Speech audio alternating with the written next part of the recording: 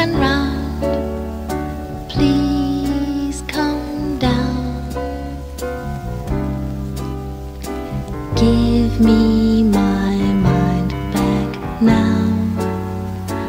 Why can't I get off now?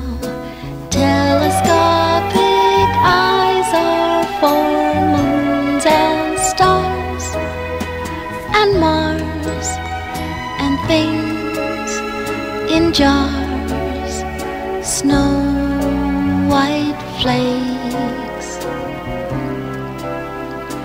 rising up from the ground. Or does it just seem